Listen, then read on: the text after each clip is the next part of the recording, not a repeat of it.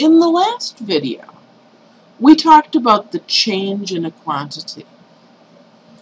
In that situation, only one quantity was changing. When two quantities are expected to change at the same time, we can talk about the rate of change.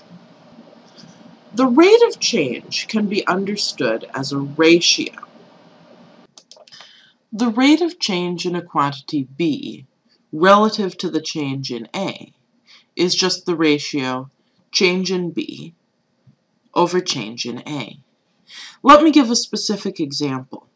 Suppose the price of shipping an order from an online store changes with the number of items ordered. It costs $7 if you want to ship three items, and $11 if you want to ship five items. What is the rate of change? Now, I need to be a little bit more specific because order matters here, right? Let's find out the rate of change in price relative to the number of items.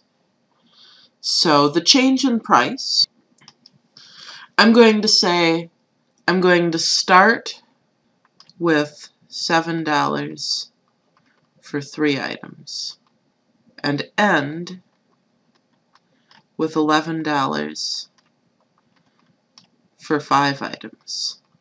So the change in price will be $11 minus $7, $4.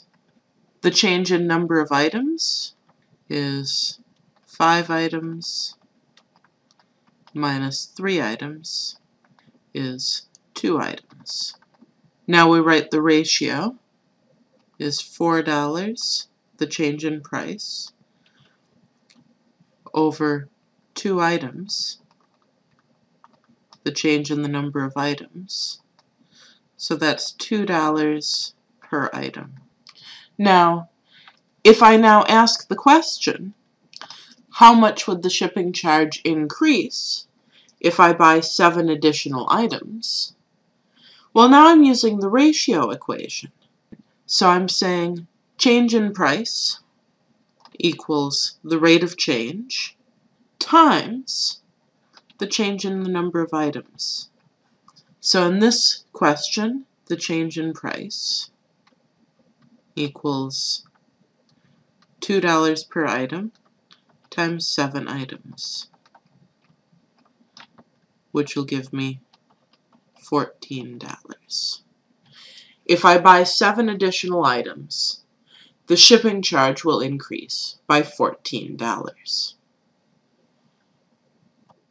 Now there's one key thing that we need to remember about the rate of change, and it's about what the signs are likely to be in a rate of change.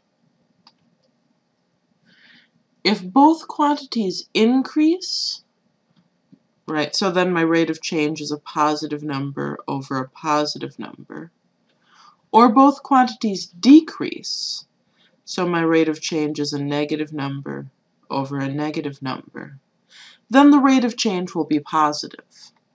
On the other hand, if one quantity increases while the other decreases, so then our rate of change will either be a positive over a negative, or a negative over a positive, then the rate of change is negative.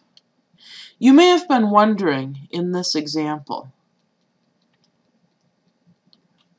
how I knew to start at $7 for 3 and end at $11 for 5 rather than the other way round.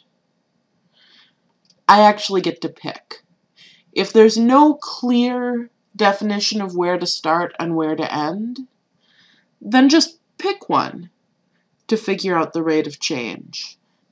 As long as you choose the same start and end for both quantities, you'll get the same answer.